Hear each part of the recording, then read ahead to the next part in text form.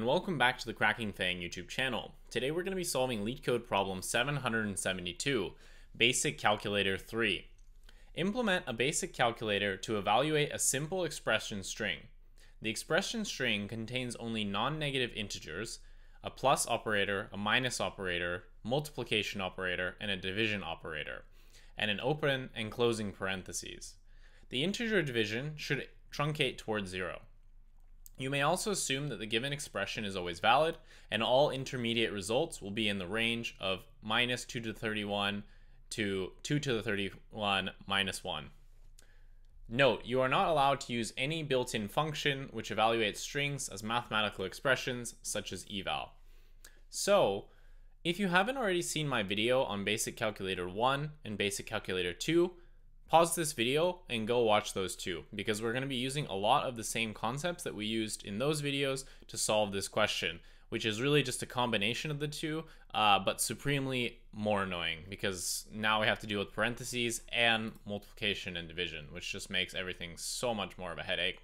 But go watch those videos come back to this one and we're going to solve it. So let's look at an example this atrocious looking string and we're asked to evaluate it so as you can see, the output should be 21, but how do we get that? Well, we know that we need to respect the order of operations. So that means that we have to evaluate everything in the parentheses first. So 5 plus 5 times 2, so obviously the 5 times 2 occurs first because of order of operations, so that's 10 plus 5.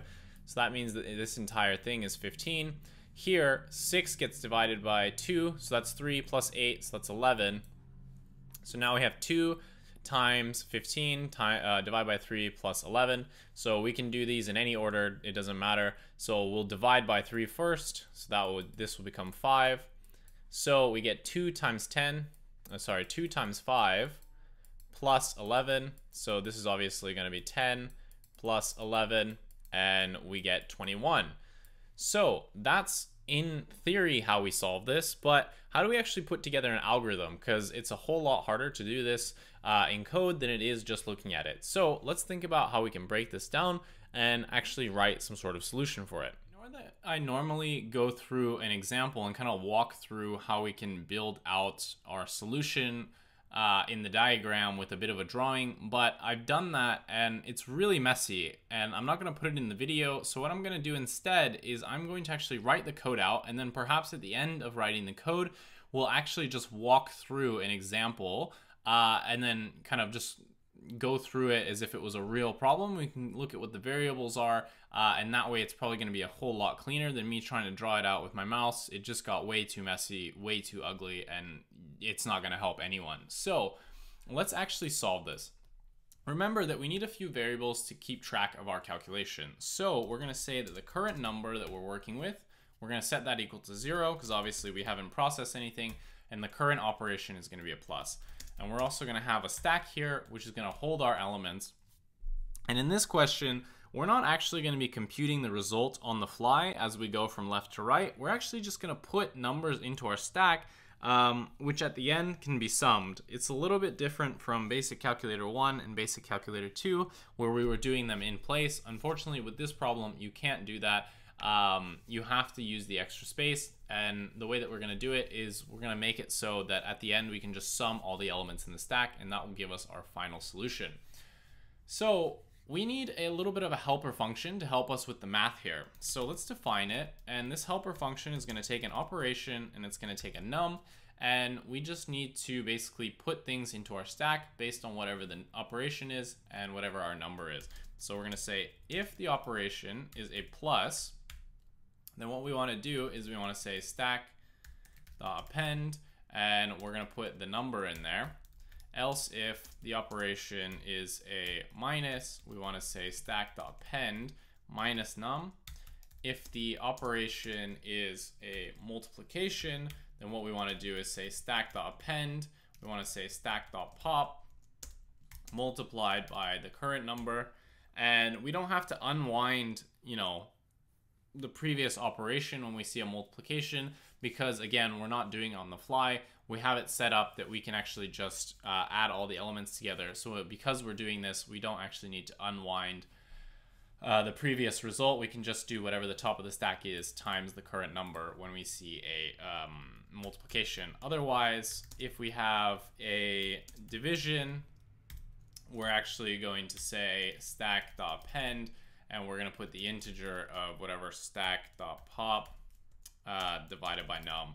And again, we just do regular division and we cast it to an int because uh, when you're doing integer division in Python with negative numbers, it doesn't round correctly, or at least not in the way that you'd want it to. So to avoid that, we actually just use uh, regular division and the integer cast. So now we can actually process our string from left to right like we did with the other basic calculators. So we're going to say for i in range len s. What we're going to do is we're going to say if s of i dot is digit. So basically, if it's a number, we need to process it. And remember that it's not always just going to be single digits. We can have, you know, multi numbers like one, two, one, one, two, three. So we need to process all the numbers. So we're going to say num, whatever the current number is, times 10 plus the integer of whatever our current value is. So s of i. Um, if we have a left parenthesis, then what we want to do is if you remember in basic calculator 1 when we have a left parenthesis we want to keep track of whatever the current operation is so that way when we come out of the parenthesis we can apply the result of inside the parenthesis with the operator and then the value before it so we actually need to store that in the actual um, the stack so we're going to say stack.append whatever the current operator is and now we need to actually reset our number to be zero and we want to reset our operation to be a plus because remember it's as if we're starting fresh when we enter a parenthesis. Cool. Now, if s of i is actually in, um, you know, a plus, if it's a minus, if it's a multiplication, oops, multiplication, if it's division, or if it's a right parenthesis, then we need to handle um, those operations. So what we want to do is we want to pass into helper our operation and the number and this is going to take care of handling the actual math for us and notice that we can actually pass in uh, into operation uh, a right parenthesis but here you'll see that we actually don't have a block um, to handle that so it actually nothing ends up happening. Um, so we don't have to worry about passing in you know that left parenthesis uh, the right parenthesis because nothing's actually going to happen. But that is a value that helper can take just nothing's going to happen. So now we actually need to handle the case if it's a right parenthesis. So we're going to say if s of i equals to a right parenthesis then remember that we just need to you know sum up all the elements inside of our uh, right parenthesis and we can sum them because that's how we've been putting them into the stack. We put them in a way such that we can actually just sum the result at the end, and it's going to be no exception when we're in a parenthesis. So what we want to do is, you know, set our num to be zero because that's going to be the, the value of the numbers uh, inside of our parenthesis.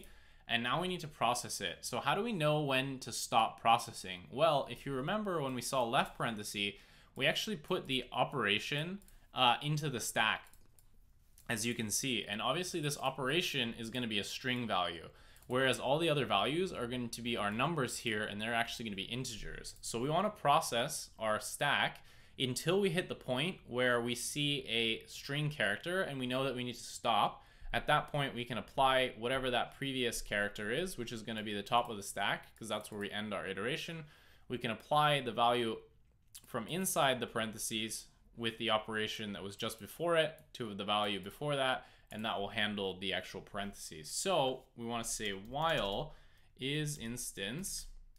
So while the value at the top of the stack is actually an integer, then we want to process those numbers. We want to say num is going to be plus equals to stack dot pop, and we're going to add all those numbers together while we're in uh, while we have numbers to add, right? And obviously this is gonna end when we hit this operation. So let's now get it out of the stack. So we're gonna say op is gonna be stack.pop. And now we wanna actually apply our helper function to that operation and the number to basically add that to our stack in the way that we want it to.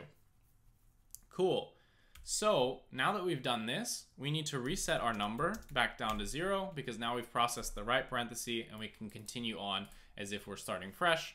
And remember that the operation is just going to be whatever s of i is because s of i is one of the operations and we need to keep track of that as we go along. So now what we need to do is before we can actually return our result, we actually need to process whatever the last operation was because remember that we're going to end either on a number or we're going to end on a right parenthesis, in which case we actually need to process those final numbers that we had um, because we won't have actually processed them if we just return at this point.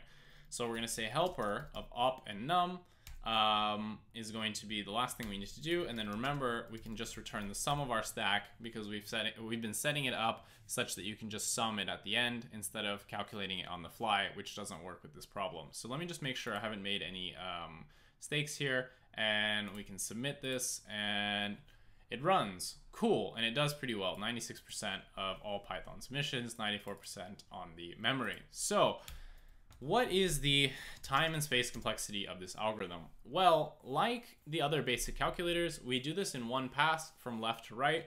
So this is going to be big O of n, where n represents the number of characters in our string. And then space-wise, oops, space-wise, um, this is going to be big O of n again.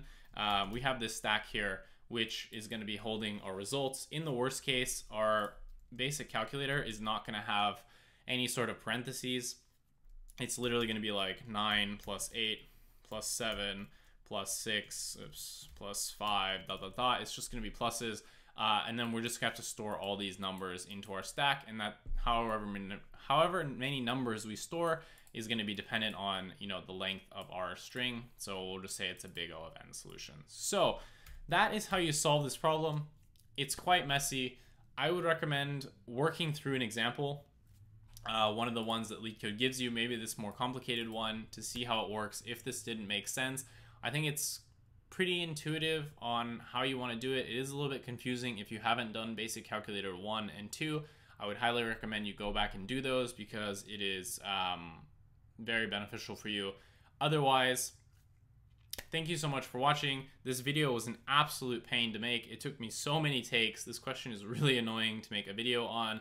Uh, it's I wish I could just write the code and not have to explain anything because yeah, I just have a headache now. Anyway, thank you so much for watching. If you enjoyed the video, please leave a like and a comment. It really helps with the YouTube algorithm. If you want to see me suffer through more of these hard Google questions, then please subscribe to the channel. I have tons of videos for you and tons more coming out. Just subscribe to the channel so you don't miss the uploads. And otherwise, thank you so much for watching. Hopefully this video didn't give you a headache as well. And have a great rest of your day.